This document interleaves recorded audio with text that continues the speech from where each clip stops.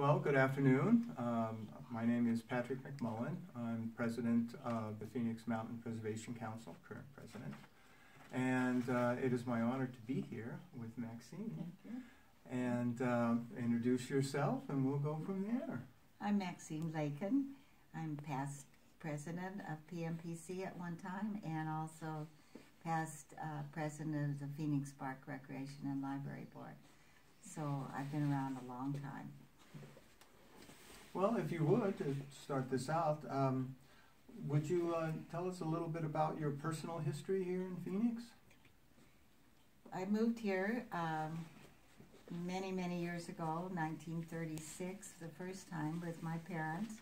My father was transferred here, and so I lived in Phoenix uh, for a year, and then I moved away with my parents, and then we moved back, and uh, I graduated from Phoenix Union High School, and went to University of Arizona, and uh, married a uh, student from the University of Arizona who lived in Phoenix. And after being married in 1946, I haven't left Arizona except for traveling. And I love Arizona. Ah, so you like the desert? I like every place I go. I like the desert, I like the ocean, I like the forest. I just like living. Yes, yes, I like being on the earth. ah, well, um, I know you were friends with uh, Dottie Gilbert, who is credited with having started the push for the preserves and PMPC. What influenced you into wanting to help her create these preserves?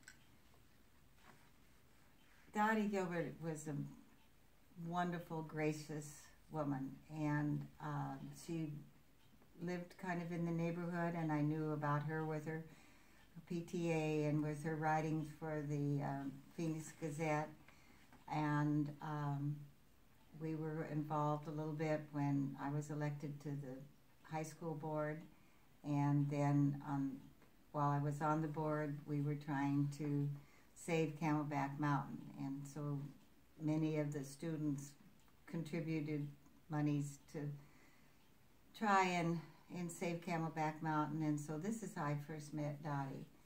And so after uh, serving five years on the high school board, um, I went on the Parks Board because Dottie said, you should go on the Parks Board. And I got to doing what Dottie said because she was always right. I know I women guess. like that, yes. Oh, So that's when on, on the uh, Phoenix uh, Parks and Rec Board uh, for five years, and then got involved with Phoenix Mountain Preservation Council, which was a continuation of trying to to preserve what we have and add more land that would be available for the whole community instead of just single people with their homes. So did you meet uh, Barry Goldwater back then? Yes, um, Barry Goldwater, of course, as you know, was from Phoenix and um, was the same age as my husband's sisters. And so they were all friends. And um, my father in law, of course, knew the Goldwaters and um, were politically uh, friends. And um, so I just thought that he was very outstanding, a man that really didn't want to go into politics. Um, just kind of got pushed in, and uh, I admired him for giving his life to the Senate with um, not really wanting to do that. But he did was a good senator, and um, we wrote letters, and he certainly was a great supporter of the preserve and Camelback Mountain. And it was through Margaret Kober, who was on the city council at the time, that he worked with Margaret um, because he was in Washington, D.C., and he worked with Margaret trying to save Camelback Mountain. And I was on the school board, and so we all kind of tried to do the same thing. Oh, that's great. So, um, how did Phoenix Mountain Preservation Council form? Uh, why was it important to create the Preservation Council back then? I think that this is just my opinion um, that when you live in an area, you love it and you take it for granted. And it's hard to believe that somebody will build big homes or resorts on land that is available. And so it takes people from out of state to really appreciate what we have. And then they become fascinated with the, the desert and the preserve. And Dottie was a bride from um, the east. Ruth Hamilton came from California. Penny came from Michigan. So we had a lot of people coming to Phoenix who appreciated what we have, and they got interested in the preserve and wanted it kept, and so I kind of give them credit for that. Um, they talked to the mayor of Phoenix at the time, and he uh, had a group together. They're called the Van Cleve Report, and that report was concerning the preserves.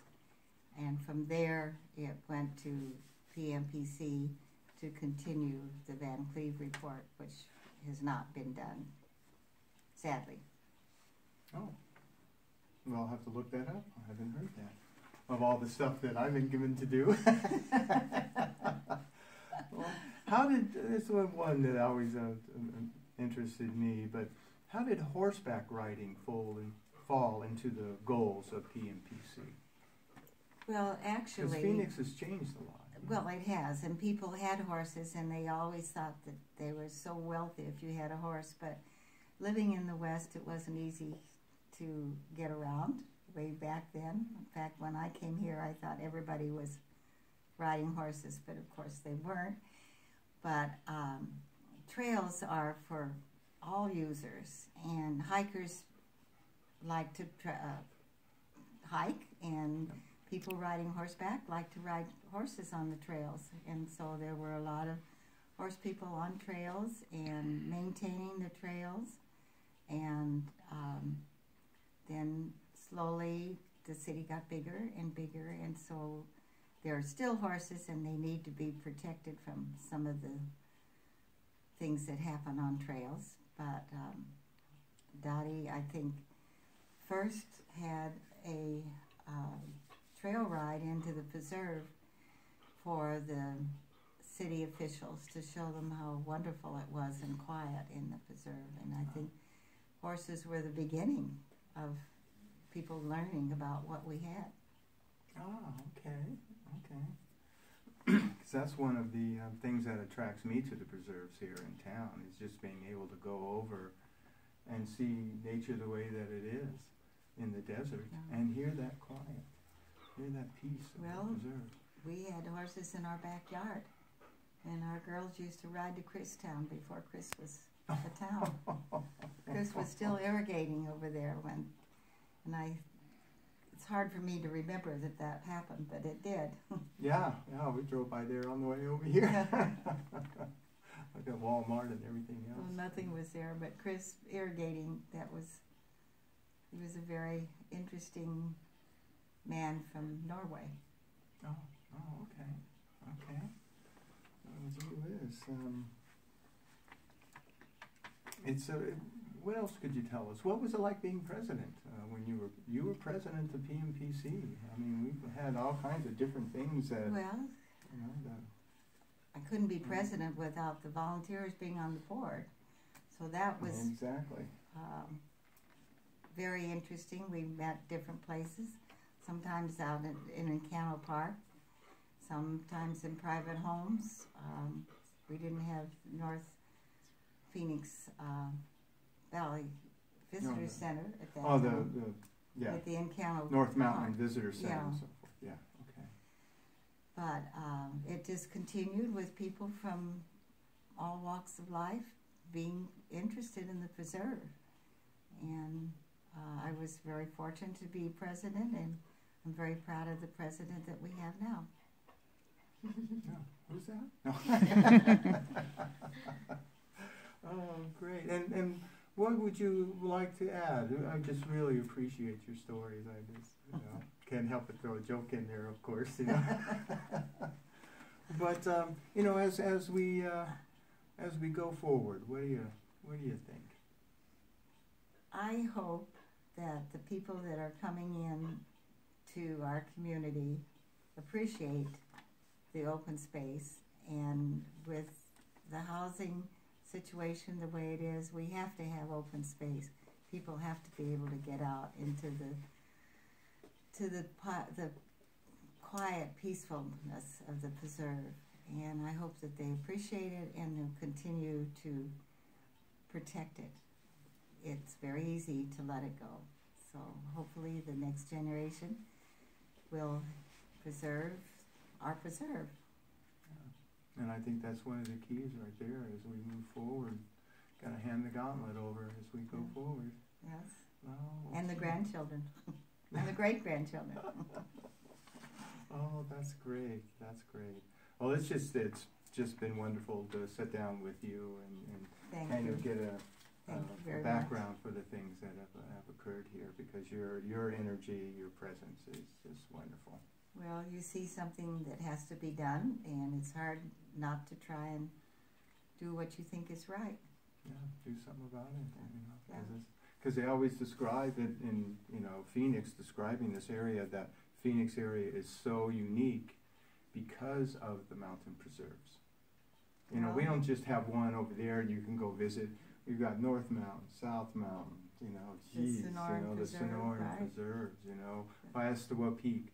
You know, we've got the parks, we've got the preserves, but the preserves are the strongest in terms of Yes, protecting them. No basketball courts in the No, or soccer fields, or Yeah, this is the way that it is originally. right. you know. And more people that realize how difficult it was to keep the preserve, the more support we'll have from the community. Right? Yes, that's it. That's it. Okay. Well, thank you very much for your time. I just really, You're really welcome. wanted to, uh, I'm really appreciative of your story. Thank you. Okay. Thank you very much. Well, thank you very much. This is Patrick and Maxine. See you again sometime soon in the preserve. Bye bye.